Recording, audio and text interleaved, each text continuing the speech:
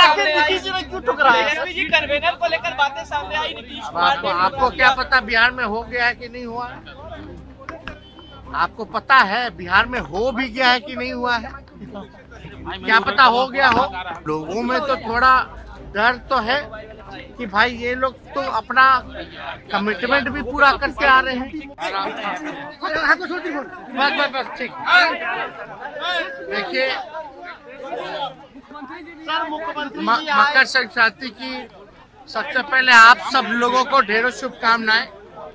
पूरे देशवासी बिहार के लोगों को हम शुभकामनाएँ देते हैं और लगातार हम लोगों के घर में परंपरा रही है। जब भी राष्ट्रीय अध्यक्ष लालू जी रहे हैं तब तक जो है मकर संक्रांति जो है उस दिन खास दिन पर लोगों को दही चूड़ा कोहड़े की सब्ज़ी तिल कुट खिलाने का काम करते हैं।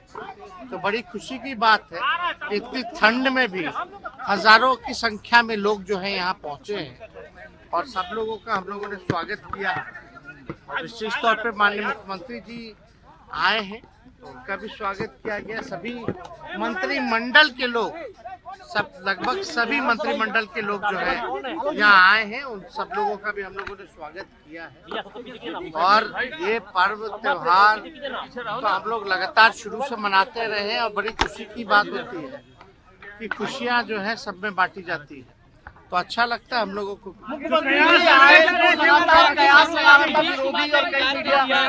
दूरी बढ़ गई है। बहुत खटपट चल रहा है। क्या कहेंगे बेकार की बातें। देखिए, इस पे हम बार बार ये कितने दिनों से चल रहा है और कितनी बार इस बात को लेकर के कोई सफ़ाई क्यों देगा? जो बात एग्जिस्ट करती ही नहीं है।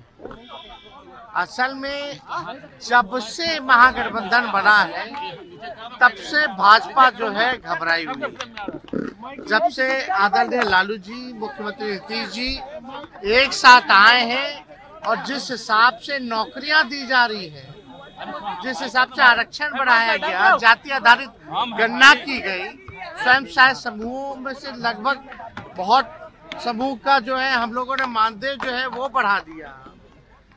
कई पॉलिसीज़ हम लोगों ने लाया बिहार में इन्वेस्टर्स मीट होता है, उसमें पचास हज़ार करोड़ का एमओयू साइन होता है।